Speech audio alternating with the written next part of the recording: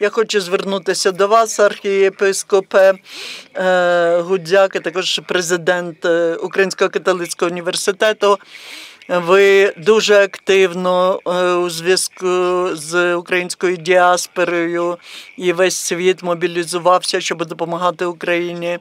Але нещодавно говорять про ще рік, вже рік майже як розпочалася війна. Чи ви відчуваєте якусь втому в ваших е, бесідах на Заході? Що потрібно для того, щоб продовжувати підтримку України? І яким чином ви можете отримати підтримку для тої роботи, про яку казав пан міністр? Е, е, події лютого минулого року і ескалація війни. Е, вони ем, фактично е, розпочали глобальну солідарні, солідарність, яку мені здається, світ ніколи цього такого не бачив. Дуже е, важливо і дуже важко підтримувати цей ентузіазм. І я можу сказати, що е, залишаються певні речі, чисткість українського діла, бажання гарних людей допомагати все ще присутні, все ще є. І певні рішення уряду США за останні тижні були прийняті певні бюджети, е, рішення щодо бюджетів. Вони це показують нам. Я думаю, дуже важливо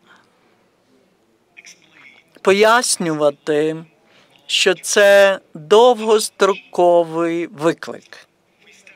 Ми е, відходимо, дивимося на окупацію, деокупацію, міжнародне гуманітарне право гарантує, управляє тим, яким чином окупанти повинні е, поводити себе на територіях, е, надавати харчі, е, медичне обслуговування.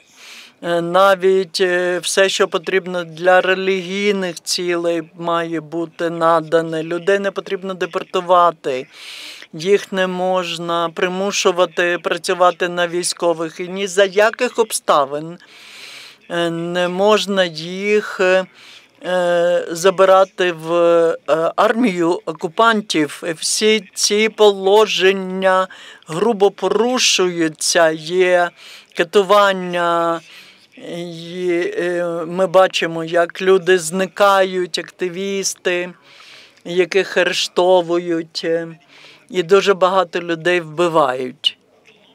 І довгострокові наслідки цього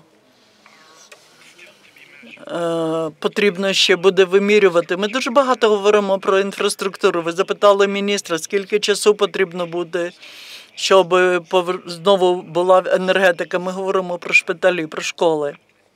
Але території звільнюються для того, щоб звільнити людей.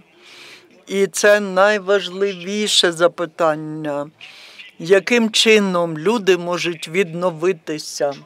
І травма, яка е, нав'язана такою жахливою поведінкою, є дуже глибокою. Я син батьків, які пережили радянську окупацію з 39 по 41 були також під нацистською окупацією. П'ять років мої батьки були біженцями. Я скажу, що можливо відбудовувати. Вони приїхали з України, де ті люди, які населяли Україну 7 мільйонів, було убито. І від цього можна якби повернутися до життя, але потрібен план маршала, щось подібне на нього. Два покоління потрібно було німцям для того, щоб стати на ноги. Потім ще покоління для того, щоб об'єдналися Західна і Східна Німеччина.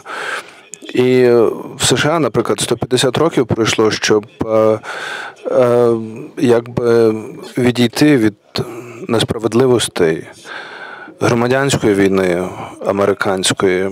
Тобто тут не можна собі дозволити бути переможеними втомою. Ми дійсно повинні вміти пояснити, що відбувається, що таке людське серце. Якщо не знаю, чи ви пам'ятаєте чи ні, коли Путін.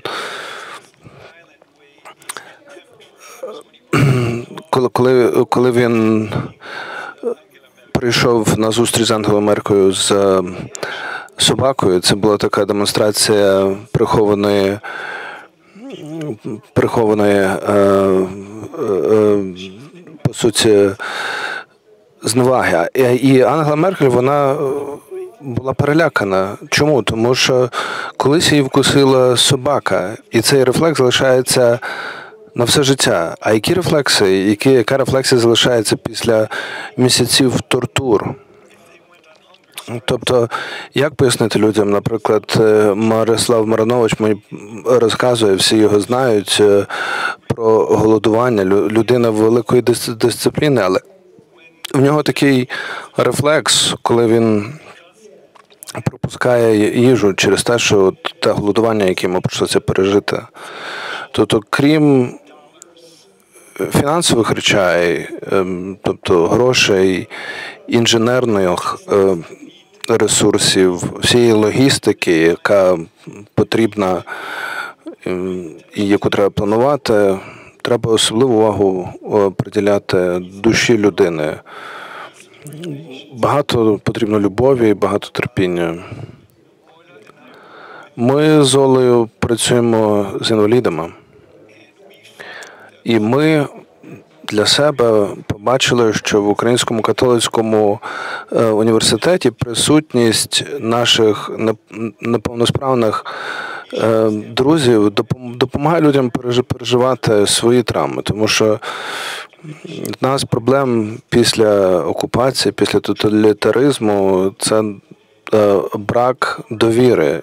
Довіру треба відновлювати. І ці люди нам допомагають, допомагають відновити наші зв'язки довіри. І мені здається, це надзвичайно важливо. Я хочу подякувати всім організаторам, всіх, всім, хто тут присутній, всій аудиторії, що Хочу сказати, що світ дуже уважно слідкує за тим, що відбувається за, за цією окупацією, за цим руйнуванням.